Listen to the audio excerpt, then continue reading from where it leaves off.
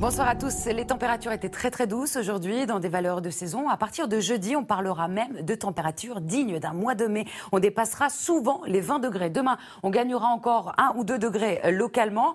Pour la journée de jeudi, donc, on passera au-dessus des moyennes de saison. Et à partir de samedi, les températures vont de nouveau baisser par le nord-ouest très temporairement avant la hausse prévue pour la journée de dimanche. Alors, dès demain, le soleil va s'installer en matinée. Regardez, presque rien à dire. Quelques bandes brouillard de la côte d'Opale en direction des Ardennes. Quelques passages nuageux sur le Nord-Pas-de-Calais qui gagneront du terrain au cours de l'après-midi. Un léger voile également sur le Pays Basque et le vent d'autant qui va souffler jusqu'à 50 km heure. Des conditions anticycloniques qui s'installent avec une qualité de l'air qui va se détériorer dès demain euh, de l'île de France en remontant jusqu'au Nord-Pas-de-Calais. L'amélioration se fera euh, à partir de samedi avec donc l'arrivée de cette nouvelle perturbation. Des températures très froides par contre en matinée. On parlera de gelée dans le nord-est sur le massif central. On est en dessous des moyennes de saison.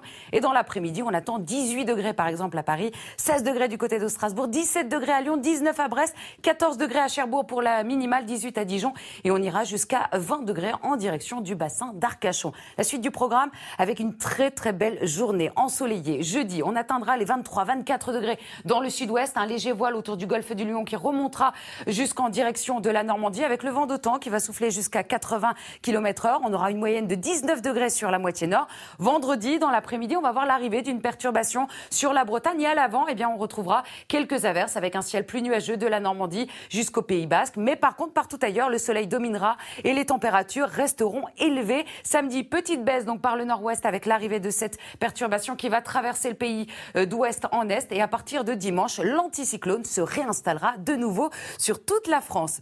Je vous souhaite à tous une excellente soirée sur France 2.